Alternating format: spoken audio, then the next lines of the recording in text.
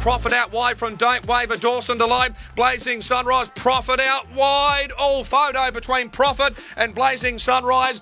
Looks like he's got up Profit. I think he's just got up from Blazing Sunrise. Chris Anderson Racing is one of the most progressive racing stables in Queensland, with a metropolitan strike rate of over 20%. It's all Epic Girl. Epic Girl's won the last for Mr. Bellagio. Well, we've engaged Duncan Ramage and Steve Morley to do all our buying with all our yearlings, and I guess that's now being reflected with you know the success we're having.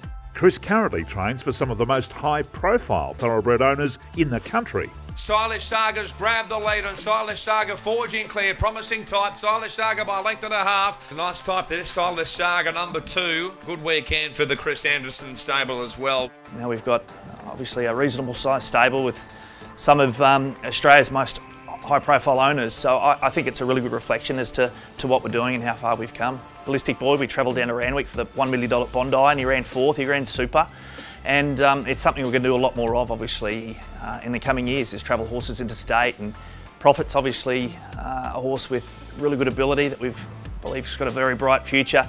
Epic Girl, uh, hopefully, could possibly get a wild card into the Magic Millions, and same with Boomtown Lass.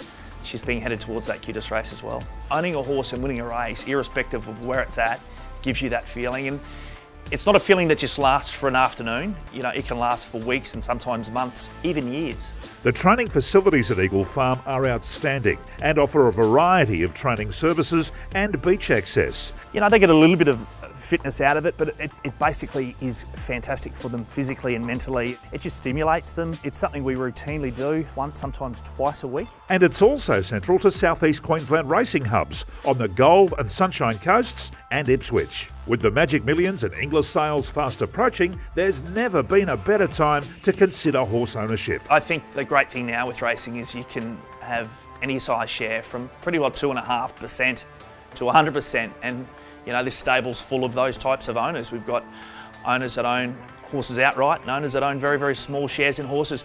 I guess for us now, the, the greatest thing is the communication that we offer. Afternoon, everyone. Just a very quick follow up from today. Just wanted to say congratulations to you all. A, a super win, uh, a tough win.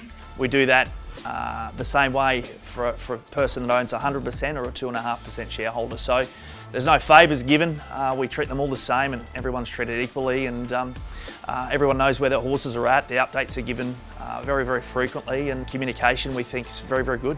If you're a current owner or have never owned a horse before but are considering investing, we'd love to hear from you. I guess we're just trying to you know, understand the interest that, that's out there at the moment, not just from current owners. We're looking at always bringing new owners into the stable and we're inviting you know, anyone who may be interested in sharing a horse to contact us and you know, one of the team will certainly be in touch with them to give them more information on that. But it's not just the Magic Millions, it's also Inglis in February, the classic sale, and then there's a huge amount of sales that we're going to go to in the next three or four months. And I suppose we're just looking at putting together those syndicates now. Email chris at andersonracing.com.au and we'll be in touch.